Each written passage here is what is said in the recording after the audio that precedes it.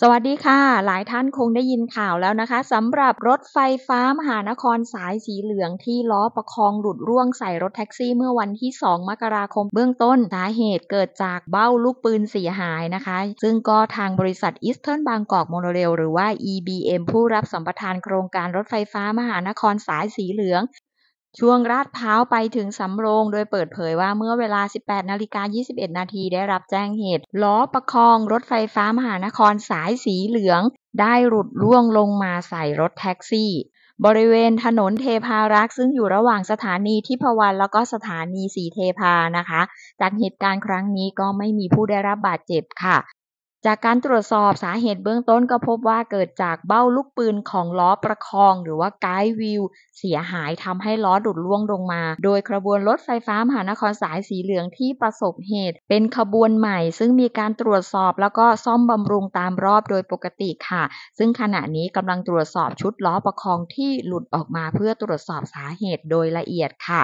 ซึ่งจากเหตุการณ์ครั้งนี้นะคะ ก็มีผลกระทบกับภาพลักษณ์ และก็ความน่าเชื่อถือความปลอดภัยของรถไฟฟ้าโมโนเรลของประเทศไทยเรานะคะ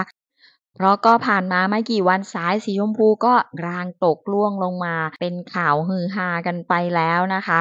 เดี๋ยววันนี้คลิปนี้นะคะ แอดมินจะพาทุกท่านไปรู้จักกับรถไฟฟ้า heavy rail กับโมโนเรลเวลาที่เกิดปัญหาเขาแก้ปัญหากันอย่างไร แล้วอันไหนที่แก้ปัญหาได้เร็วกว่ากันค่ะ ก่อนอื่นมารู้จักรถไฟฟ้าโมโนเรลกันนะคะรถไฟฟ้าโมโนเรลของประเทศไทยเราก็คือสายสีเหลืองกับสายสีชมพูค่ะ ถือว่าเป็นรถไฟฟ้ารางเดี่ยว สายแรกในประเทศไทยนะคะ เป็นรถไฟฟ้าที่ไม่ใช้คนขับ ใช้ล้อยางวิ่งบนคางคอนกรีต หรือว่ารางเหล็กเพียงรางเดียวเลี้ยววงแคบแล้วก็ไต่ทางลาดชันได้ดีค่ะ อีกทั้งยังกินพื้นที่น้อย เนื่องจากใช้โครงสร้างขนาดเล็ก เหมาะแก่การพัฒนาแนวเส้นทางที่พื้นที่ไม่มากแต่ว่าโมโนเรลเนี่ยมีข้อจำกัดในด้านการขนส่งผู้โดยสาร เนื่องจากว่ารองรับผู้โดยสารได้ประมาณ 200 คนต่อตู้ จึงนิยมใช้เพื่อขนผู้โดยสารไปป้อนให้กับรถไฟฟ้าขนาดหนักหรือ Heavy Rail นะคะ ที่สามารถขนผู้โดยสารได้มากกว่าค่ะ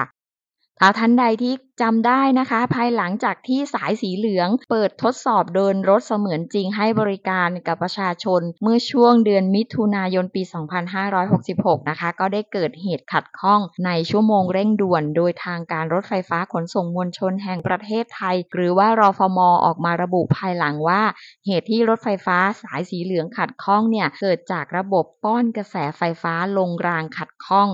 ซึ่งความเหมือนที่แตกต่างระหว่างระบบรถไฟฟ้าโมโนเรลแล้วก็ระบบรถไฟฟ้า heavy rail หรือว่าเราเรียกว่ารถไฟฟ้าล้อเหล็กนะคะ ที่วิ่งบน 2 รางเหล็ก ซึ่งเป็นระบบรถไฟฟ้าที่ให้บริการในไทยมากที่สุดก็คือสายสีเขียว สายสีน้ำเงิน สายสีม่วงนะคะ ข้อแตกต่างระหว่าง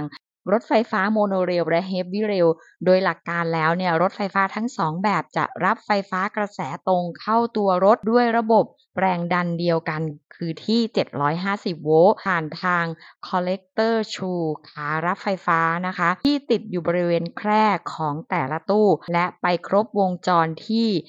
rectifier unit ที่ TSS traction substation เหมือนกันนะคะ แต่มีรูปแบบการรับกระแสไฟฟ้าแตกต่างกัน รถไฟฟ้าโมโนเรลไม่ว่าจะเป็นสายสีเหลืองและสายสีชมพูนะคะ ถือว่าเป็นโมโนเรลแบบค่อมรางในรูปแบบล้อยางที่วิ่งบนทางวิ่ง หรือว่าคานรางเดี่ยวที่เป็นคอนกรีตหรือวัดเหล็กนะคะ โดยคานมีขนาด 1 ใน 4 ของตัวรถ และในแต่ละตู้โดยสารประกอบด้วยชุดโบกี้จำนวน 2 ชุด แต่ละชุดโบกี้จะมีล้อรับน้ำหนัก หรือว่า driving wheel เป็นล้อที่วางอยู่บนทางวิ่งทำหน้าที่รับน้ำหนักของตัวรถจำนวน 2 ล้อเพลาเดี่ยว และและล้อประคอง 6 ล้อ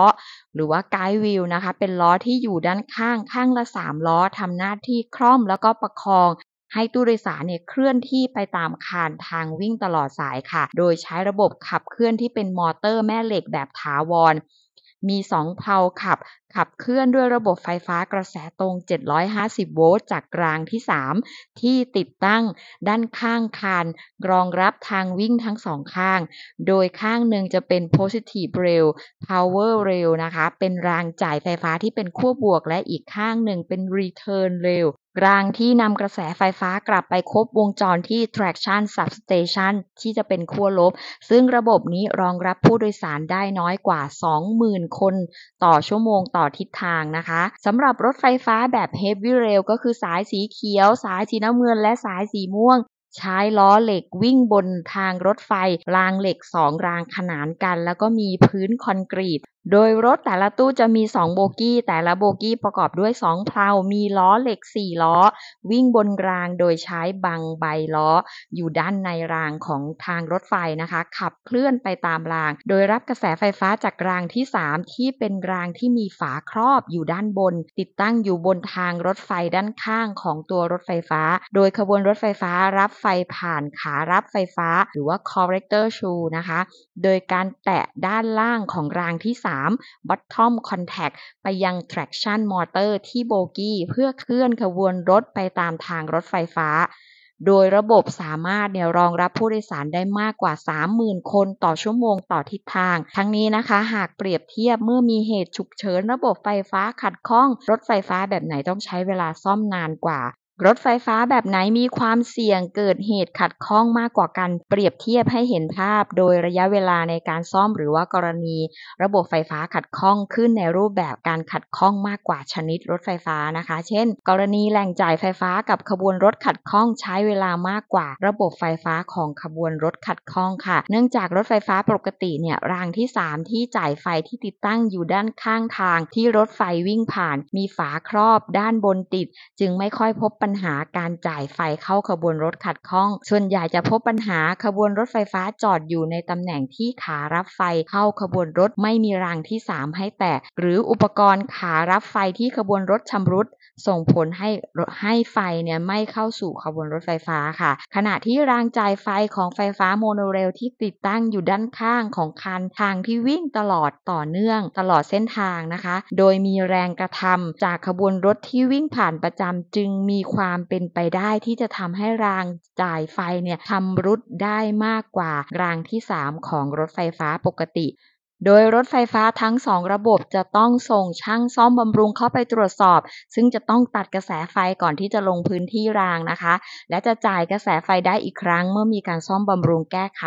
และทีมพนักงงานซ่อมบำรุงออกจากเขตพื้นที่รางเป็นที่เรียบร้อยแล้ว จากนั้นก็จะเปิดให้ขบวนรถไฟฟ้าวิ่งผ่านค่ะ ประเด็นที่ว่าถ้าเปรียบเทียบรถไฟฟ้าโมโนเรลไม่มีคนขับ จะมีความปลอดภัยน้อยกว่ารถไฟฟ้า Heavy Rail ที่มีคนขับหรือไม่นั้นประเด็นจึงไม่เกี่ยวข้องกัน เพราะว่าหากรถไฟฟ้าทั้งสองระบบเกิดเหตุขัดข้องก็มีความจำเป็นต้องแจ้งไปยังศูนย์ควบคุม เพื่อตัดกระแสไฟฟ้าลงพื้นที่ทางราง และทีมพนักงานซ่อมบำรุงเข้าตรวจสอบทันทีค่ะ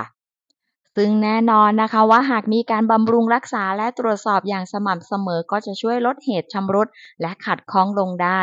กรณีเกิดเหตุขัดข้องที่จุดใดจุดหนึ่งนะคะ เจ้าหน้าที่ศูนย์ควบคุมการเดินรถไฟฟ้า จะพิจารณาปรับรูปแบบการเดินรถ โดยใช้แผนการเดินรถสำรอง เพื่อลดผลกระทบต่อผู้ใช้บริการ แล้วก็มีประกาศประชาสัมพันธ์ให้ผู้โดยสารรับทราบข้อมูลข่าวสารเป็นระยะนะคะ ควบคู่กับการซ่อมบำรุงแก้ไขเพื่อให้สามารถกลับมาให้บริการได้ตามปกติโดยเร็วค่ะ สำหรับท่านใดนะคะที่สงสัยว่าล้อยางเป็นล้อแบบไหน ยางจะเป็นแบบยางลมนะคะ ซึ่งสเปคยางจะเป็นยางรันแฟตแบบที่ใช้ในรถยนต์ค่ายยุโรป ไม่ว่าจะเป็น BMW Mercedes-Benz เมื่อยางรั่วก็ยังจะสามารถวิ่งต่อไปได้ เพื่อเข้ารับการซ่อมแซมค่ะ รวมทั้งที่ล้อก็จะมีอุปกรณ์ตรวจวัดแรงดันลมยาง หากเกิดกรณีที่ยางแตกหรือว่าลมยางไม่เป็นไปตามสเปค จะมีการดึงรถกลับเข้าศูนย์ซ่อมบำรุงเพื่อดำเนินการซ่อมแซมค่ะ ความรู้ดีๆ จากเพจ Facebook BKK Train ค่ะก็นับว่าเป็นอีกเหตุการณ์หนึ่งที่ทางผู้รับสัมปทานจะต้องศึกษาหาทางป้องกันมิให้เกิดเหตุขึ้นซ้ำอีกในอนาคตนะคะ เพื่อเป็นกรณีศึกษา โดยจะต้องยึดยึดหลักความพร้อม ความปลอดภัย ซึ่งเป็นหัวใจสูงสุด เพื่อสร้างความมั่นใจให้แก่ประชาชนที่จะเป็นผู้โดยสารของรถไฟฟ้ามหานคร ไม่ว่าจะเป็นสายสีเหลืองและก็สายสีชมพูนะคะ หวังเป็นอย่างยิ่งว่าเหตุการณ์แบบนี้คงจะไม่เกิดขึ้นอีกนะคะ เพื่อจะเรียกความเชื่อมั่นของผู้ใช้บริการรถไฟฟ้าโมโนเรลของประเทศไทยเราค่ะ แล้วคุณผู้ชมล่ะคะ คิดเห็นเป็นอย่างไร ก็สามารถคอมเมนต์ไว้ที่ใต้คลิปนี้ได้เลยค่ะ และหากท่านชอบและเห็นว่าคลิปนี้มีประโยชน์ก็ช่วยกดไลค์กดแชร์ เพื่อเป็นกำลังใจให้กับช่องนิมดาวรายดีด้วยนะคะ ขอบคุณทุกท่านที่เข้ามารับชม หากมีข้อผิดพลาดประการใดแอดมินต้องขออภัยมาณที่นี้ด้วยนะคะ หวังว่าคงจะเจอกันคลิปหน้าสำหรับคลิปนี้ขอลาไปก่อน สวัสดีค่ะ